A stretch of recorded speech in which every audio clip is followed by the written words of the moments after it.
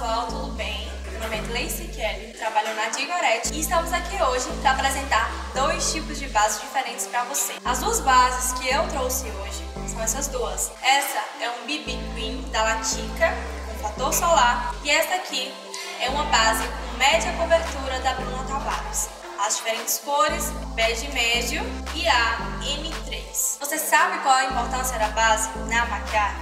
Antes de você iniciar a maquiagem, você deve sempre estar limpando o seu rosto e hidratando para receber a base. Então, quando você passa a base no rosto, ela uniformiza o tom e as marcas de expressões, olheiras, entre outras as coisas no rosto. Então, vamos lá? A base da Bruna Tavares ela é uma base skin, uma base líquida, hipoalergênica, dermatologicamente testada. Não contém comedogênico, tem o efeito natural, de média ou leve cobertura. E sua fórmula, além de ser vegana, é oil free. A BB Queen Latica é uma base clareadora, além de ter fator solar 44 testada dermatologicamente e uma base que contém depantenol.